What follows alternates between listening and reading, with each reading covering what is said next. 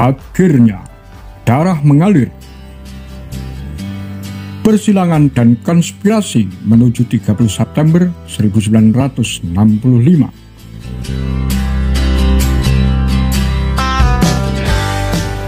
Perintah-perintah penyelidikan dan penindakan yang diberikan Presiden Soekarno kepada beberapa jenderal yang dianggap setia kepadanya seperti yang terlihat dalam rangkaian fakta pada mulanya memang seperti berputar-putar saja tanpa hasil konkret. Pulang pergi, jenderal-jenderal seperti Brigadir Jenderal Safiuddin, Mayor Jenderal Mursid, lalu Brigadir Jenderal Sabur, Brigadir Jenderal Sunario, hingga Brigadir Jenderal Sudirko.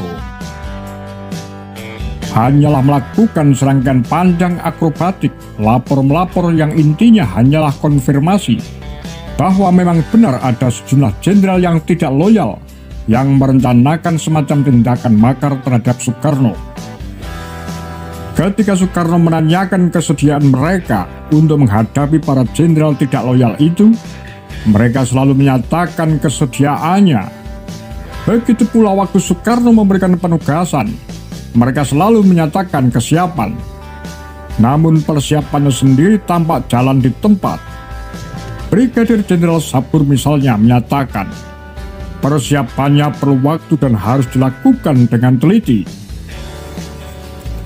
Brigadir Jenderal Sudirko yang dalam kedudukannya selaku Komandan Korps Polisi Militer kelihatannya diharapkan menjadi ujung tombak pelaksanaan yang juga belum jelas bagaimana cara dan bentuknya sama sekali belum menunjukkan kesiapan. Apakah penindakan itu nantinya berupa penangkapan oleh polisi militer lalu diperhadapkan kepada Soekarno? Semuanya belum jelas.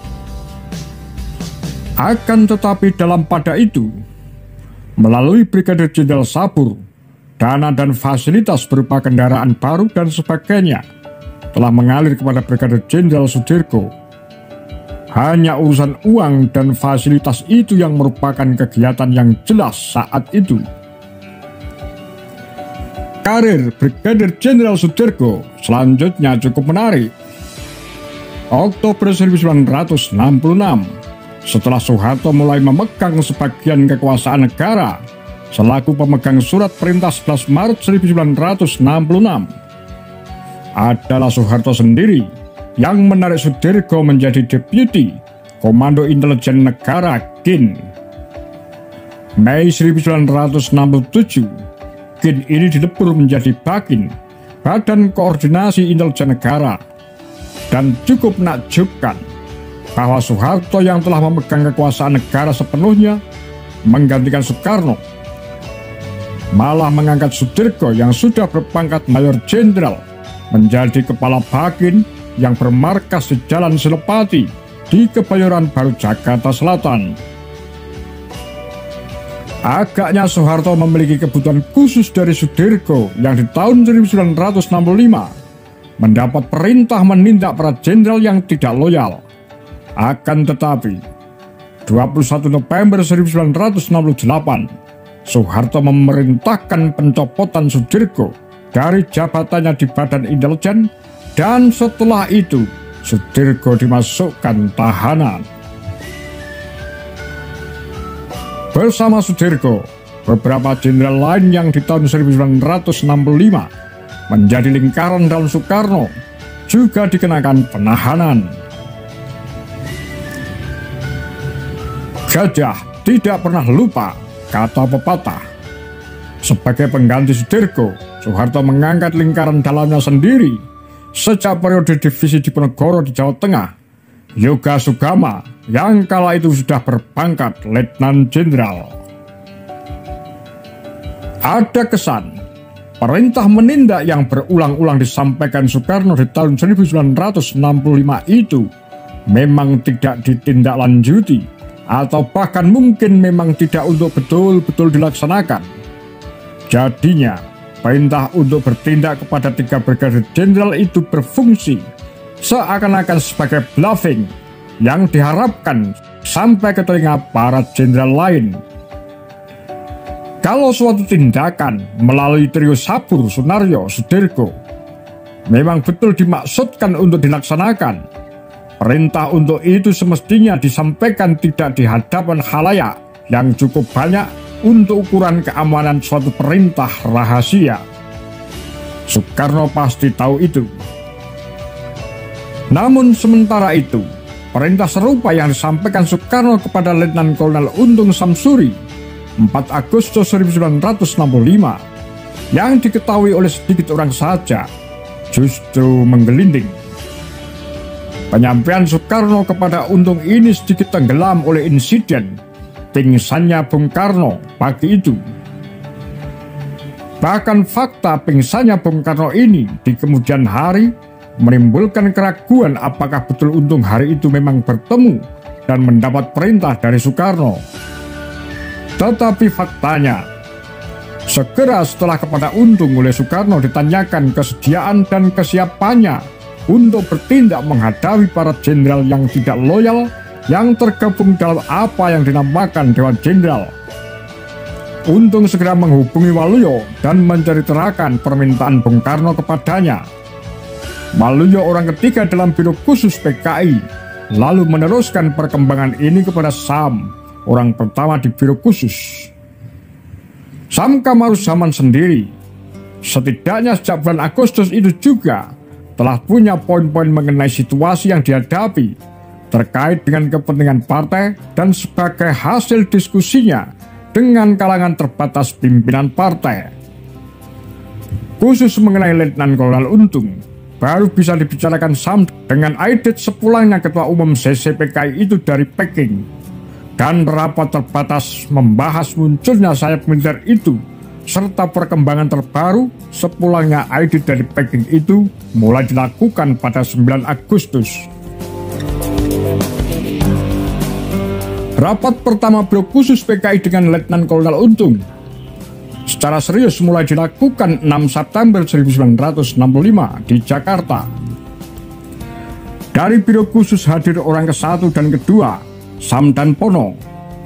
Sedang para perwira militer yang hadir selain Letnan Kolonel Untung, ada Kolonel Abdul Latif, Mayor Infanteri Agus Sigit, serta seorang perwira artileri, Kapten Wahyudi, yang rumah kediamannya dijadikan tempat rapat malam itu serta seorang perwira Angkatan Udara Mayor Suyono, Komandan Pasukan Pertahanan Pangkalan Halim Perdana Kusuma. Mendapat urian dari Sam Kamaruzaman mengenai situasi terakhir negara, serta adanya sejumlah jenderal yang tergabung dalam Dewan Jenderal yang akan mengambil alih kekuasaan dari tangan Presiden Soekarno. Para perwira menengah itu menyepakati suatu rencana gerakan penangkalan. Seluruhnya dengan berganti-ganti tempat termasuk di kediaman Sam di Salemba Tengah hingga tanggal 29 September berlangsung 10 pertemuan. Hampir sepenuhnya pertemuan-pertemuan itu berisi rancangan gerakan militer. Karena sejak awal mereka sepakat bahwa aspek politik dan ideologis ditangani oleh Sam dan Pono Rangkaian pertemuan itu pun praktis tak memiliki persentuhan yang nyata dengan PKI, terkecuali kehadiran Sam dan Pono dari Biro Khusus. Secara berurutan, setelah pertemuan pertama 6 September, berlangsung pertemuan kedua 9 September, 13 September, 15 September, dan 17 September, serta pertemuan ke-6 19 September, ke-7 22 September ke-8 24 September, serta ke-9 26 September dan ke-10 29 September 1965. Sampai pertemuan keempat di rumah Kolonel Latif belum terkonfirmasikan dengan jelas pasukan-pasukan mana yang bisa diikutsertakan dalam gerakan. Barulah pada pertemuan kelima, juga di rumah Kolonel Latif, mulai tergambarkan dengan jelas komposisi pasukan yang bisa diharapkan, yang seluruhnya menurut perhitungan Letnan Kolonel Untung hampir setara dengan satu divisi. Disebutkan kekuatan yang akan dikerahkan terdiri dari Batalion 530 dari Divisi Brawijaya, Batalion 454 dari Divisi Diponegoro, satu batalion dari Brigadir 1 Kodam Jaya yang dijanjikan oleh Kolonel Latif. Satu kompi dari Satuan Cakra Birawa di bawah Letnan Kolonel Untung sendiri serta seribu orang sukarelawan yang telah dilatih dari Mayor Suyono di daerah Lubang Buaya. Penetapan D-Day dipengaruhi laporan Mayor Suyono bahwa seribu sukarelawan yang dilatihnya masih memerlukan waktu setidaknya 10 hari lagi agar mencapai tingkat combat ready Faktor lain karena Letnan Kolonel Untung merasa masih ada kekurangan dan untuk itu ia mengharapkan adanya satu kesatuan kavaleri dengan 30 tank atau panzer. Letnan Kolonel Untung mengharapkan bantuan itu datang dari divisi Siliwangi. Setelah ia mendengar laporan Sam tentang keberhasilan memperoleh dukungan dari Brigadir Jenderal Rokman, Kepala Staf Kodam Siliwangi, tanpa menyebutkan nama pada pertemuan ke-6 di rumahnya. Sam menyebutkan adanya dukungan seorang jenderal terhadap gerakan ini. Dan pada pertemuan ke-7, 22 September, ditetapkan pembagian tugas perpasukan yang diberi nama Pasopati, Bima Sakti, dan Gatot Kaca. Penjemputan para jenderal target diserahkan kepada Pasopati Penetapan rencana pembentukan Dewan Revolusi dilakukan dalam pertemuan ke-8 24 September di Rumah Sam.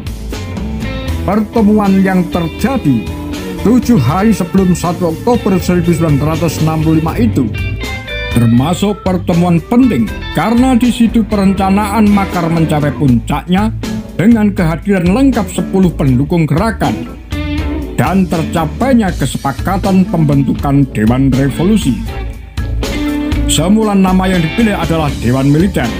Tetapi menurut Sam, Aidit berkeberatan dan mengusulkan penggunaan nama Dewan Revolusi agar cakupannya lebih luas. Tidak terdiri dari kalangan militer saja.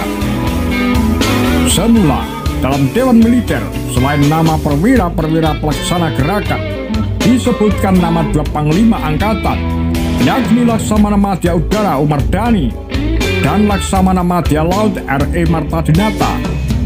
Itulah pertama kali nama Aidi dikaitkan dengan gerakan, meskipun hanya melalui ucapan Sam. Tapi sejauh hingga saat ini, Aidi tak pernah hadir dalam pertemuan.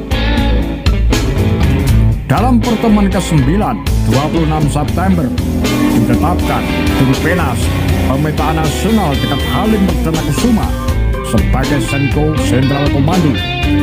Pada pertemuan ini ada desakan agar D-Day hari H ditetapkan pada 29 September.